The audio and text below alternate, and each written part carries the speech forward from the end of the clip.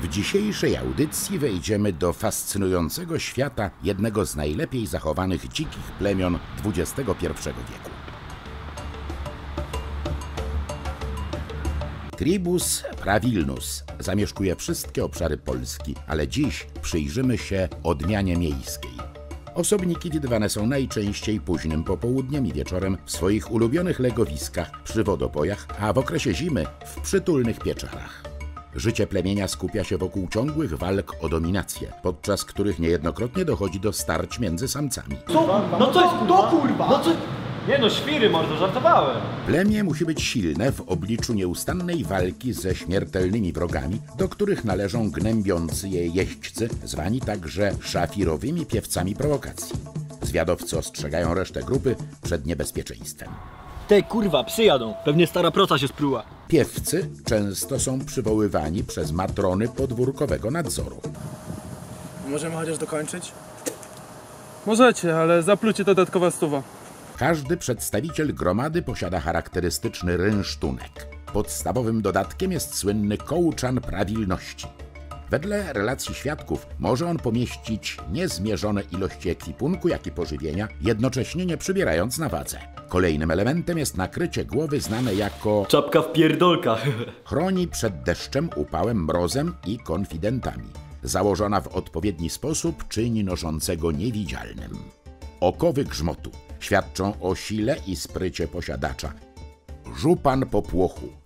Poza walorami kolorystycznymi mającymi zaimponować samicom, wydaje szumiący dźwięk informujący współplemieńców o tym, że zbliża się swój.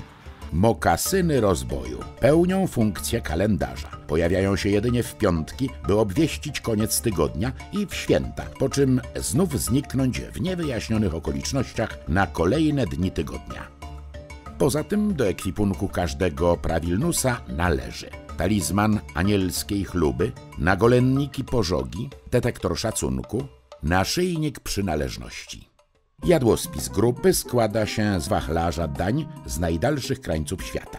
Delicje Orientu, pralina mączna z sercem ze szlachetnego drobiu. I sosy bez limitu.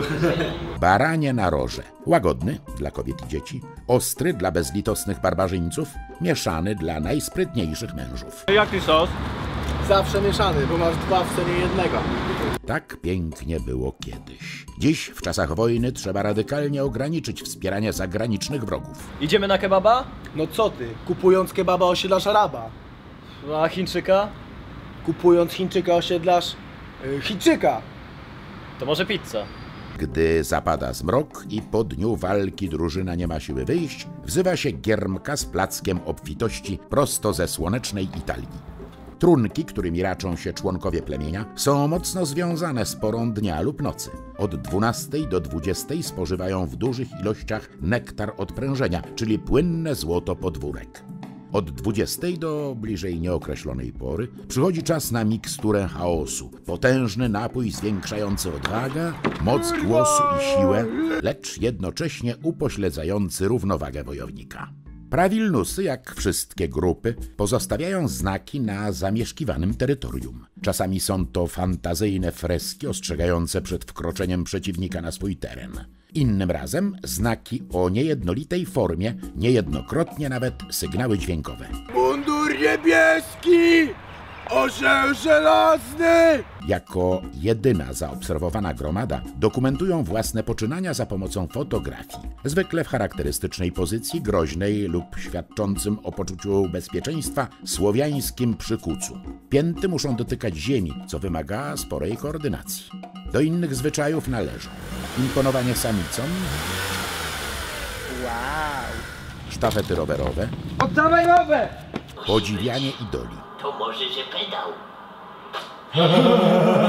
Co ja z wami gadam, Hausa? Zbiór zasad tego środowiska jest prosty i wyrazisty.